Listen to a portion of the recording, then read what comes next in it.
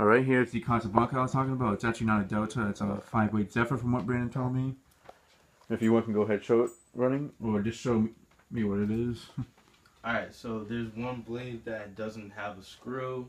It's missing one Um, screw. Yeah. but otherwise it works fine. And then the IT switch over here is just stuck a little bit.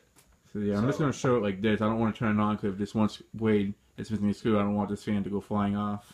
But it's also on a um, it's also on an LCA adapter. right.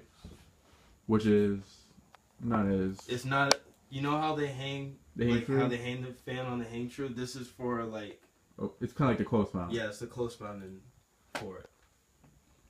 It Alright. looks like everything's all original. So Yeah, I love the light on it. It's really nice. So um, yeah, that'll be the end of this video. Thanks for watching and see you guys later.